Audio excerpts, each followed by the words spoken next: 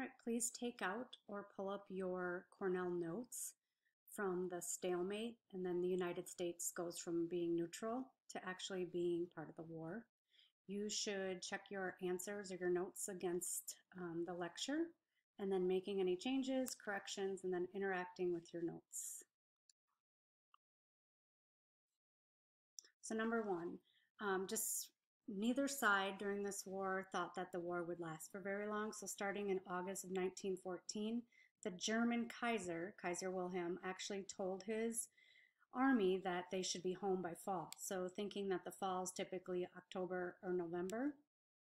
So obviously they had no idea that it was going to drag on for four years. Most of the fighting is going to take place um, in an area along the German and French border. So it was referred to as the Western Front. And the reason the war took so long is because it ended up being a stalemate. And so they would go back and forth, and nobody was really making any progress. And the reason for this was the type of fighting that they resorted to using, which was called trench warfare. And we will go a little bit more in depth in that when we do new technologies. So neither side um, by 1916 could actually claim a victory because it was a stalemate. Just a reminder that at the beginning, the United States remained neutral. We were going to trade with both sides, provide supplies to both sides, and then President Wilson also did not want to get involved in the war. He was an isolationist, and even in his reelection campaign, kept us out of war. So I'm going to play this little clip for you, and it's a clip from Finding Nemo.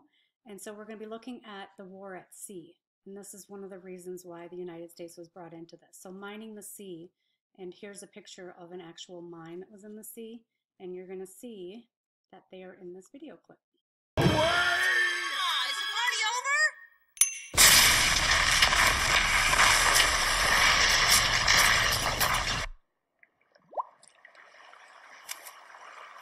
Nice. Um, when I visited the World War I Museum in Kansas City, this was on display, and because of teaching about this, I was able to know what it was without reading about it. Here's some other images. And so mining the sea by using mines, you could use that offensively or defensively, defensively in the war, but it's putting these hidden bombs that explode when um, they're disturbed Another term that you need to know is a blockade, and this is by cutting off, uh, cutting off access to prevent goods, supplies, or people from entering or leaving. And then unrestricted submarine warfare is fighting with a submarine. And so this, you would have gained some of this information by reading the U-boat attack play that you were supposed to have read. Number four said, what did Britain do to try to force Germany into surrendering? If you take a look at this map, here's Germany and here is Britain. And if the United States was going to supply both sides and being neutral, they would have to either sail their merchant ships through here or through here. Well, the British put a blockade along the northern part of the North Sea and right here in the English Channel. So this prevented the United States from really being able to supply Germany with any supplies. And so Germany was trying to block, or sorry, Britain was trying to block Germany's only access to the ocean. So one way that Germany is going to respond is they're going to do a blockade of their own. And so they're going to be using those submarines or U-boats, and they're not going to have any restrictions on who they are going to target. And so they threaten to sink any ship, doesn't matter if it's from the United States, if it's a civilian ship, if it's a military ship, this is why it's called unrestricted.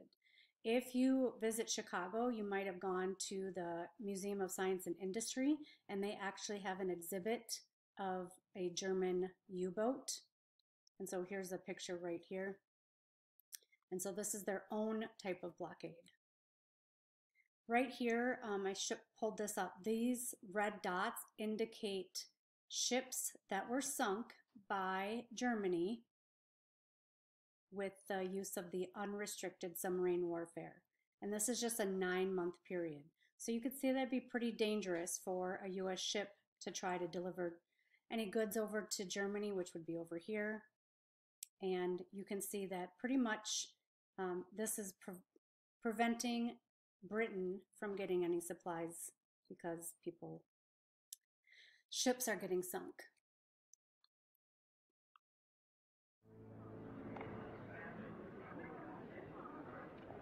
The captain and crew of the Lusitania dismissed fears of submarines and encouraged passengers to enjoy the elegant amenities on board the 787 foot luxury liner.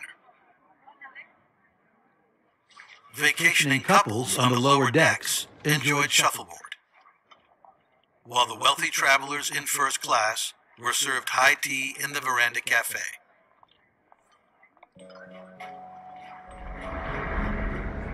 From intercepted communications, the British knew the German submarine U 20 was lurking in the path of the Lusitania. Yet they chose not to send destroyers out to meet the ship and escort it into Liverpool. Within the halls of the British Admiralty, some argued that if the Lusitania was lost, it might precipitate American entry into the war. British are definitely trying to get America involved in this war. Right from the beginning, there is a sense of we need you here. Your shipping is not going to be enough. We are your brethren. You must support us.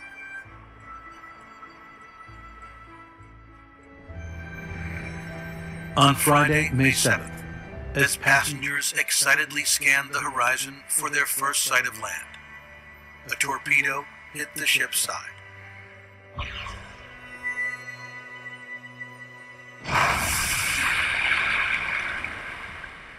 The explosion ripped a huge gash in the Lusitania.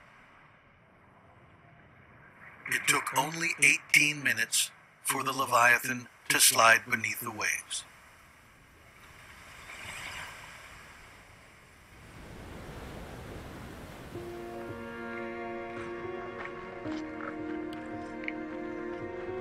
For months after the Lusitania went down, dead bodies washed ashore. Hundreds of others were pulled lifeless from the Irish Sea, the corpses stacked on the docks. Many of the casualties could not be identified and were buried in mass graves. In all, 1,198 men, women, and children were lost. 128 of them were Americans. Neutrality.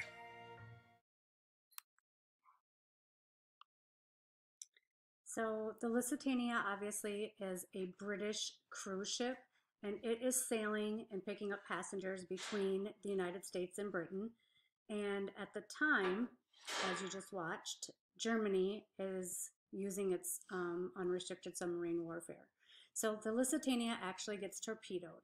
Now, a little bit we know more about this is that uh, Britain probably took the risk of having Americans on the ship because they wanted the United States to actually side with them and get pulled into the war on their side is that one of the roles of government is to protect its citizens. And so if Americans die at the hands of the Germans, you would think that the American government would, that would be enough for us to get involved in the war, but it's not enough. It's just one of the reasons why we get pushed or pulled into the war, but it's not enough. Do still remain neutral. So after um, the threaten, threatened from, threat from President Wilson. Germany apologizes, promises not to attack merchant ships. Um, however, Britain wants the U.S. in the war, and Germany wants to keep us out of the war at all costs. Now, thinking about if you, going back to that slide that showed all those red dots, if you were a private shipper, would you want to take a chance in delivering goods to Britain or to Germany? Probably not too safe. So this is going to influence, um, this is going to play a role in the U.S. economy. If we don't take sides in the war, then we might end up losing money. And so here's another thing that's kind of pushing us to take sides. So uh, there are four main events that push us towards the war. The first one is the sinking of the Lusitania. So this happens in May 7th, 1915. and after this, Germany temporarily stops the unrestricted submarine warfare, but we do know that they end up resuming it. The second thing. On the afternoon of January 31st, 1917, the President received a diplomatic communique. The German government had declared all out submarine warfare against American ships in the Atlantic. So that's about two years later. So it's two years where they respected the restrictions on submarine warfare. But now they were willing to take a chance on pulling the United States into the war.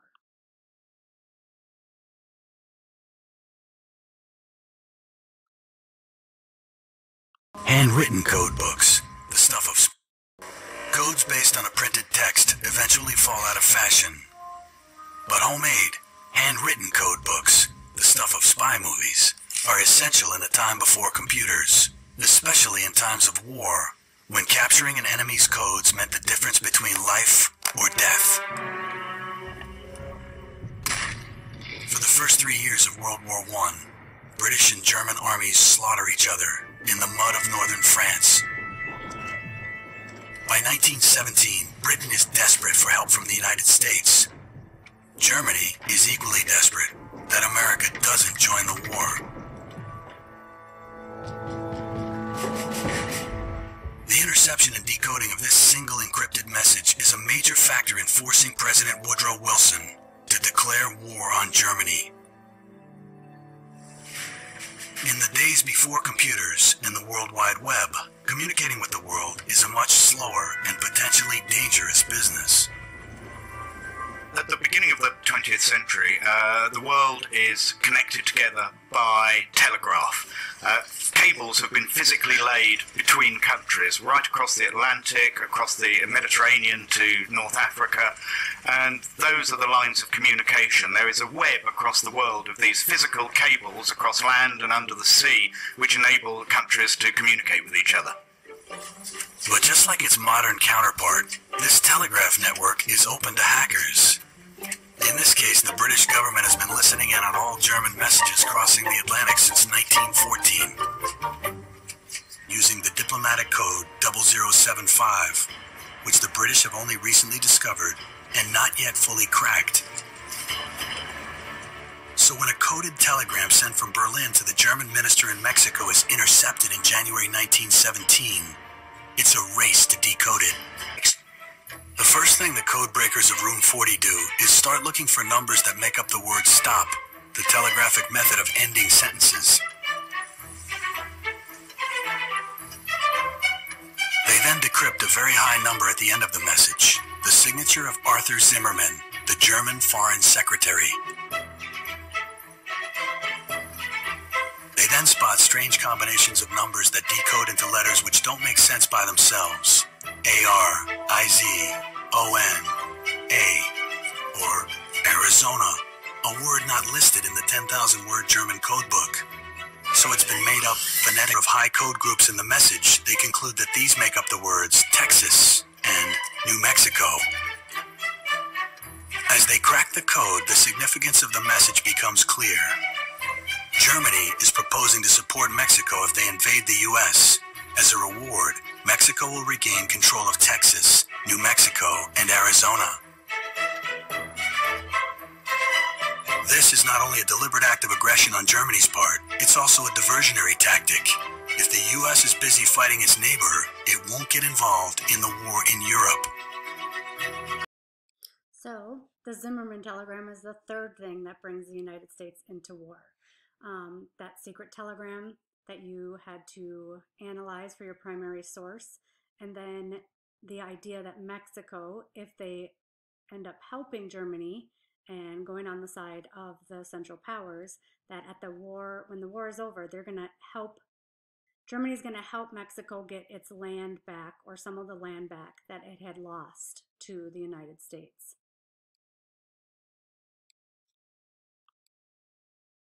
Today, Military History 1917. The text of the Zimmerman telegram is published on the front pages of American newspapers, propelling the U.S. towards war. The telegram was a secret diplomatic communication from the German Foreign Secretary, Arthur Zimmerman, who proposed a Mexican German alliance should the U.S. enter war with Germany, who was preparing to renew their policy of unrestricted naval warfare and expected America to respond. Intercepted and deciphered by British intelligence in January, the message was shared with U.S. President Woodrow Wilson on February 26th. He warned Congress to prepare for German attacks and authorized the State Department to release the telegram publicly. The next month, the United States formally joined World War I. And then the fourth reason or event that brought the United States into the war is actually the most confusing. It has to do with Russia or the Russian Revolution. The Russian Revolution. The year is 1914. World War I had begun, and Russia was at war with Germany. The working class and the peasants make up the Russian army. However, they are not well equipped or trained for the battles to come. The year is now 1917. Millions of Russians had been either killed or wounded. The Russian people were angry at Tsar Nicholas II for getting Russia into the war and several other reasons, including the Tsar taking personal command of the army, Rasputin's power over the royal family, food shortages, and growing political opposition. The first revolution came about in February 1917 on the Julian calendar. In If you've ever watched the cartoon about Anastasia, um, Anastasia would have been in Tsar Nicholas's palace. Petrograd, which was the capital of Imperial Russia, demonstrators protested about the lack of bread due to rationing and were soon joined by striking workers. The army was called upon to suppress the uprising. Several protesters were shot and killed by the soldiers. However, many refused to open fire. The army, too, it seemed, had mutinied against the Tsar. Or October 24 and 25 on the Julian calendar, the Bolsheviks, led by Lenin, launched a coup d'etat against the provisional government. They stormed the Winter Palace and arrested the provisional government, putting themselves in charge of Russia's government. After the revolution, the Bolshevik government exited the war by signing a peace treaty with Germany called the Treaty of Brest-Litovsk. So now that uh, there's no more fighting between Russia and Germany and Austria-Hungary on the Eastern Front, all of these German troops can now go and fight against the British and the French on the Western Front. That is not going to be something that the British and the French are going to look too kindly on because they have already been devastated. This is another reason why the United States feels that if they don't join in the war, then France will fall to Germany and then the United Kingdom. And France had been our friend during the American Revolution. So we really need to um, go in and back them up. So these four things end up bringing the United States into the war.